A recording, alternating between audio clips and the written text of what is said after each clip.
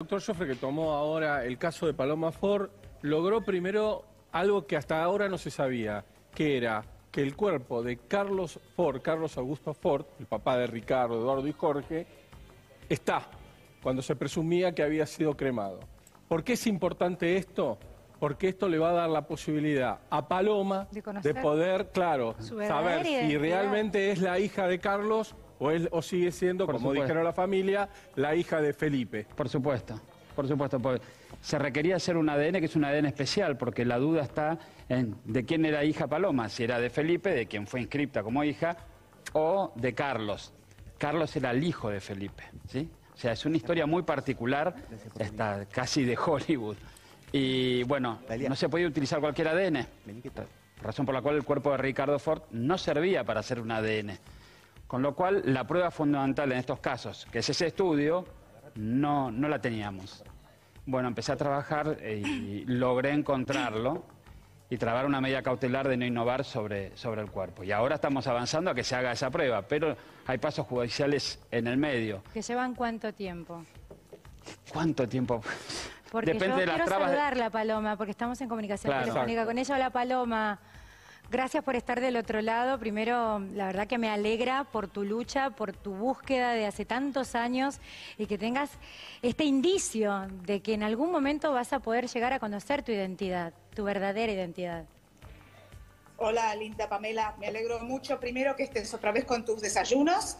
Y, y como te dije la última vez que estuve en tu programa, todo llega. Todo llega.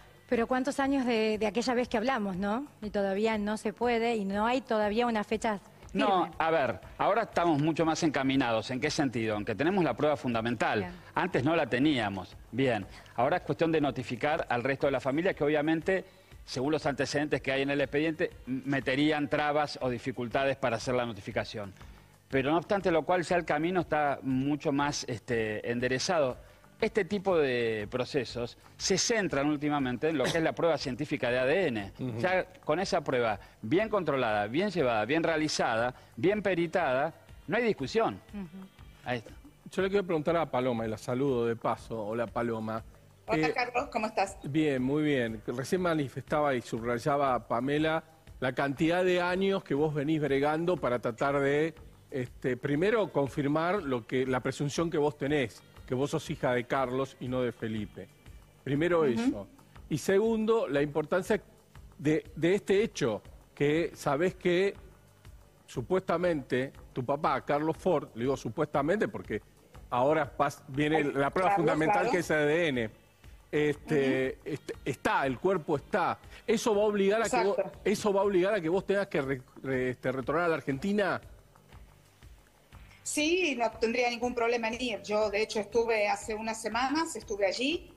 Y, mm, y el doctor Santiago sabe que eh, para lo que me necesiten, si necesito volver, yo vuelvo, no hay ningún problema. Acá lo fundamental es justamente esto, conocer tu verdadera identidad. Es esto lo que a vos te quita el sueño. De todos estos años, casi todo, casi toda una vida. Eso por más que uno cambie de país, cambie de vida, se junte con otra gente, eso sigue estando en la cabeza y en el corazón de la persona que lo necesita. Es simplemente una respuesta. Es lo único que estoy buscando. Quiero una respuesta. Lo demás, después ya se verá. A vos las sospechas se iniciaron a partir de un comentario que te hizo Ricardo, ¿verdad? Correcto. Cuando él, él, él concretamente, ¿qué te dijo? Él me dijo que él, él sabía y que toda la familia sabía que yo era hija de Carlos, pero que era un tema que no se podía tocar y que uno era uno de los motivos por los que él no podía, él no podía interceder, porque si no lo ponían en problemas a él. Sí. Sí, Sí. ¿qué tal Paloma? ¿Cómo estás? Inclusive hay periodistas. ¿qué tal Paloma? Hay periodistas, periodistas de esta casa, muy reconocidos, que Sí. han manifestado que Ricardo les ha comentado sobre esta situación y que reconocía a Paloma como, como la hermana, con lo cual, o sea, la, la prueba testimonial te- podríamos contar con, con- con varios testigos informados, varios. varios. Pero lo importante era esta prueba, porque esta prueba es muy difícil, es muy difícil de revocar si sale como nosotros creemos que tiene que salir. Este, y, y- y es- y ahora sí veo el proceso encaminado. Este proceso se inició muchos años antes y faltaba esto, faltaba esta, e- e- esta prueba. Con lo cual creo que, que ahora sí estamos muy encaminados y esperemos que no haya muchos, muchos palos en la rueda. Yo me, me quedo con esto, quiero cerrar, Pamela. La, la- la- la respuesta que te dio Ricardo cuando te dijo es algo que la familia no lo va a admitir. ¿Por qué? ¿Por el tema de la infidelidad de, de Carlos con Marta? No.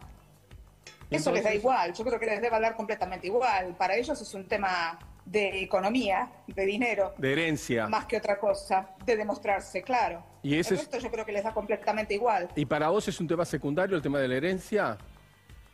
Es, es- es- claro que es secundario. Yo, nece- yo necesito tener una respuesta para seguir con mi vida adelante.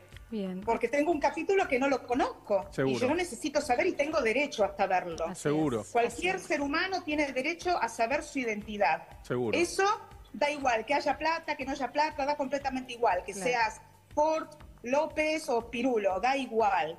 Cualquier ser humano tiene derecho a saber su identidad. Así es, Lo Paloma. que venga después de eso ya se seguirá.